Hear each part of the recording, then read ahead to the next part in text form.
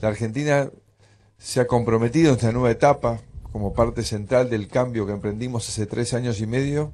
volver a, poner el foco en generar energía, en ser unos importantes productores mundiales de energía. Y una pata de esa producción de energía pasa por todo lo que hemos lanzado con los proyectos Renovar, en todo lo que es lo renovable, energía renovable, energía limpia, que con Sebastián veníamos en el camino diciendo que tenemos 97 proyectos en construcción, que realmente van a terminar a lo largo de este año muchísimos de ellos, ya 41 que están en funcionamiento, generando energía para 900.000 hogares de todo el país. Este parque solo son dos bariloches, me decía Sergio Whisky recién, dos bariloches que podíamos abastecer. Entonces eso muestra